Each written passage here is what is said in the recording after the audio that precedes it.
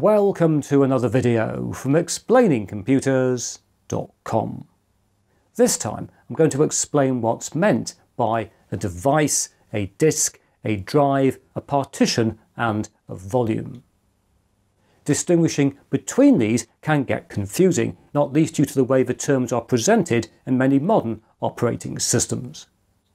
For example, in Windows, in this PC, in the File Explorer, C colon is labelled as a local disk, even though it's listed under the heading Devices and Drives. Meanwhile, in Linux Mint, as in many other Linux distros, in the Disks utility, if we select a partition and then open the menu and select Format Partition, the resultant window is headed Format Volume. Most of the time, providing that everything works, exactly why things are presented as they are doesn't really matter. But this channel is called Explaining Computers, and so I thought we'd have a video to make everything absolutely clear.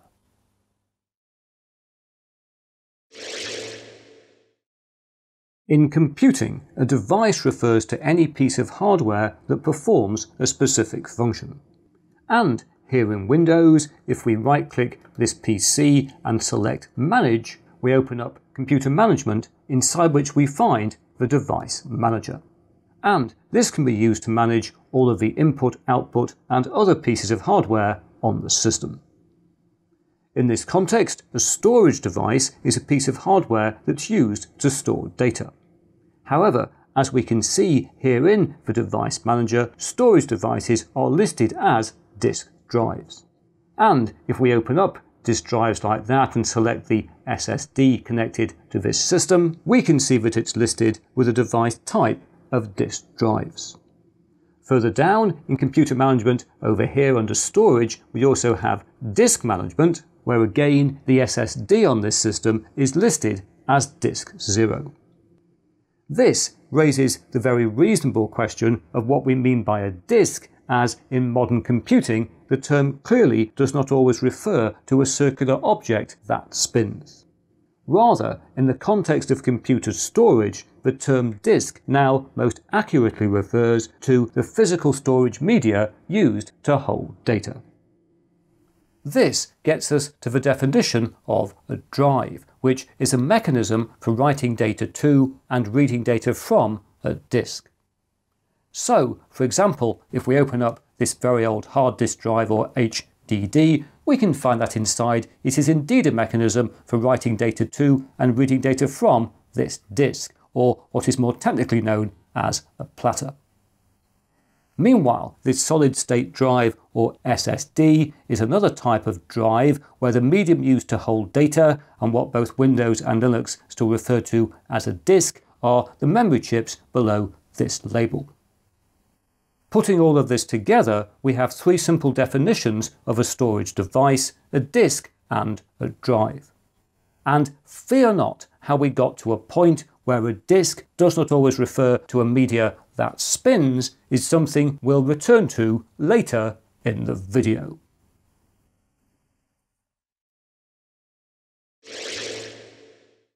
Next, let's turn to the somewhat trickier subject of partitions and volumes. Here, a partition is a logical division of a disk with a defined size. Most types of disk can contain one or more partitions with information about the number that exist and their sizes stored in a map called a partition table.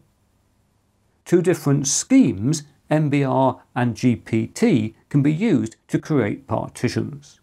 MBR stands for Master Boot Record, supports up to four partitions per disk, and is compatible with disks up to 2 terabytes in size.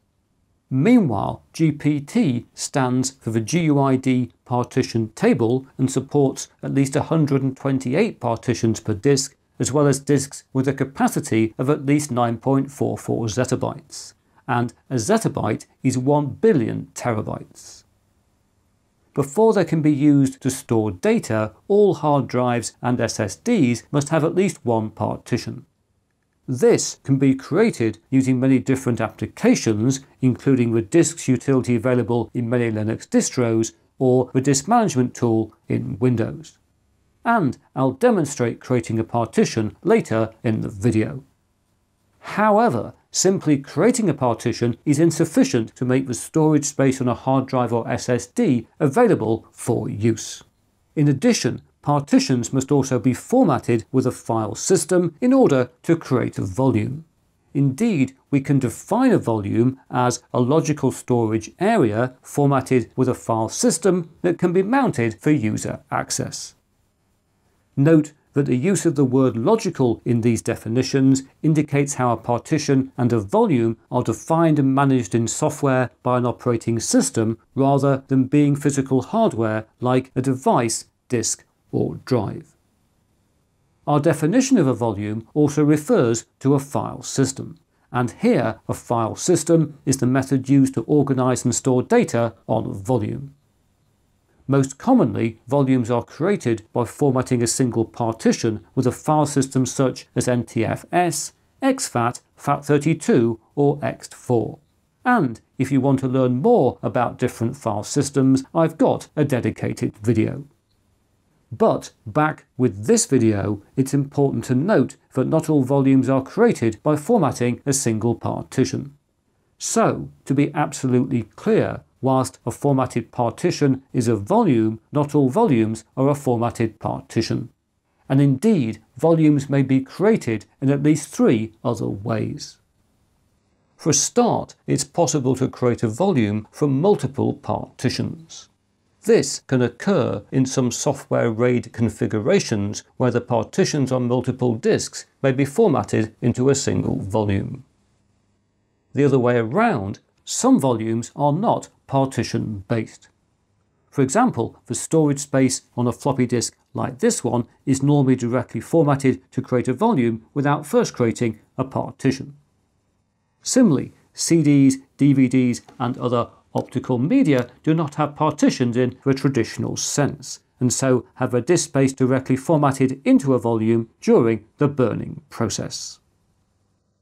Finally, it's worth noting that a volume storage area may be a single file stored on another volume. For example, here in a folder on this Windows computer, we have an ISO file. And, like all ISO files, this contains a copy or image of what were historically the contents of a CD or other optical drive. And if we right click and select Mount, Windows opens the ISO file up with an allocated drive letter. And so we now have a user accessible storage area or volume that's not based on a formatted disk or partition thereof. In a similar fashion, a security utility like Veracrypt can create a password protected file called an encrypted container and then mount it as a volume. To demonstrate, in this folder we have such a file and in the Veracrypt application with the file selected, we can click on Mount, enter the password to gain access, and the encrypted container file is mounted as a volume.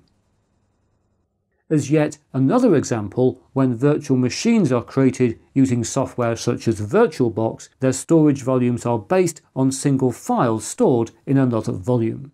And so, for example, VirtualBox virtual machines like this one have a storage volume based on a VDI or virtual disk image file. To summarise, a volume may be based on several different kinds of physical or logical storage, including a single partition on a hard drive, SSD, flash drive or memory card, multiple partitions in a software RAID configuration, the storage space available on a floppy or optical disk, or a single file stored in another volume, such as an ISO image, an encrypted container, or a virtual hard disk file. Hopefully this is clear, although I accept that things may now be more complicated than when we first started. However, we do at least now have simple definitions for a storage device, a disk, a drive, a partition, and a volume. So, with these concepts individually distinguished, it's time to explore their historical context.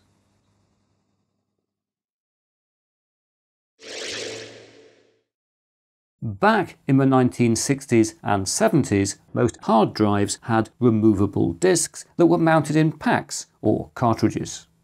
In the 1970s and 80s, early CP/M and DOS microcomputers then primarily used floppy drives which similarly had removable disks. For several decades, the distinction between a drive mechanism and the disks on which data was stored was therefore extremely clear. Reflecting this, the DOS operating system allocated two letters, A and B, to its first two floppy drive mechanisms. The letters C and onwards were then assigned to hard drives, which by this time contained a non-removable disk.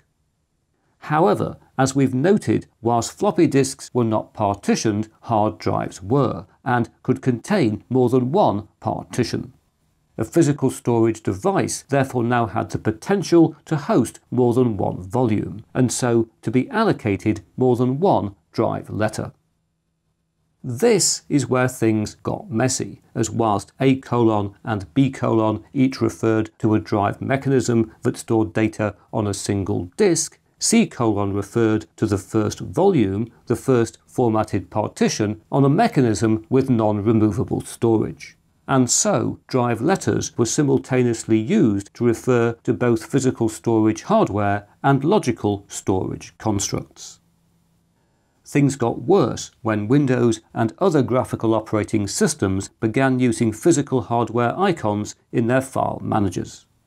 For example, here in Windows 3.1, drive mechanism icons for A and B are displayed even if no disk is present, as we can see if we click on A and wait a second, we will get a message. Here it is, which makes it absolutely clear that A refers to a drive mechanism and not to a disk. However, the hardware icon we have here for C most definitely represents a volume, as if a disk in the system's first hard drive were partitioned and formatted into two volumes, then it would appear as both C and D. And just to add to the linguistic mess, we have here a disk menu for managing the media contained in the drives we can select. These conventions became so ingrained that when SSDs arrived, no attempt was made to refer to their internal storage media as anything other than a disk. And so, today, from your operating system's point of view, the flash memory chips in an SSD are a disk mounted in a drive and accessed in Windows via a drive letter, which almost always refers to a volume. And we just have to accept this bizarre reality.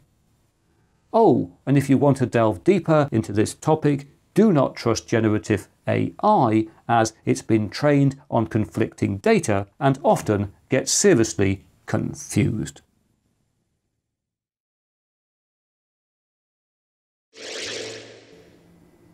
Greetings! I said I'd demonstrate how to partition a drive and to do this I've put this SSD into this USB caddy which is plugged into a computer and this SSD is in factory state or in other words it's in exactly the same state it would be in if it had been newly purchased. And if you want to return an existing SSD to factory state you can use a Windows utility called diskpart which I've covered in, guess what, another video. Anyway, here on the Windows desktop, our new drive does not appear in this PC because it's not been set up. And so let's go over to this PC and right click and select Manage, which as previously gets us to Computer Management and specifically down here to Disk Management, which immediately recognizes we have a drive containing a disk which needs to be initialized and it's offering us the choice of using either the MBR or GPT partition style. And normally these days it's best to stick with the newer GPT, which is what I'll do here. I'll press OK. And if we just give ourselves a little bit more space, we can see down here we have got now disk 1. This is our new disk, which has got lots of unallocated space. But if we right click, we can do new simple volume like that. Welcome to the new simple volume wizard. I'll click on next. And what this is going to allow us to do is to create a partition and format it to become volume. And I say a partition, we could create multiple partitions, but we'll just create one. We'll use all the space for the single partition and click on next. And we're going to click next again to allocate a drive letter, which will be drive D.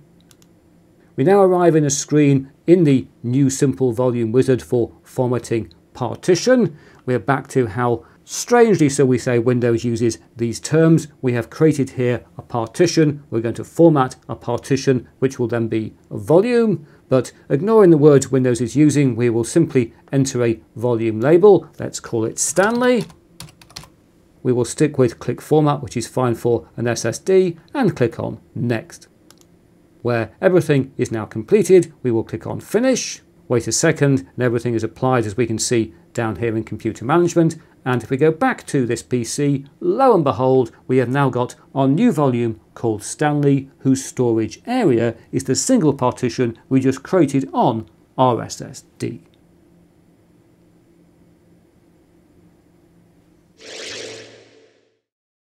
So there we are. Hopefully the distinction between a device, a disk, a drive, partition and a volume is as clear as it possibly can be and as a result we can all get a better night's sleep. But now that's it for another video. If you've enjoyed what you've seen here please press that like button. If you haven't subscribed please subscribe and I hope to talk to you again very soon.